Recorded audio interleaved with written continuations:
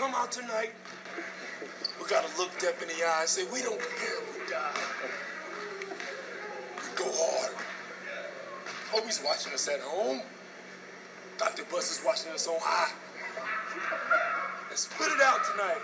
Everything we got. Everything. Leave it on the floor.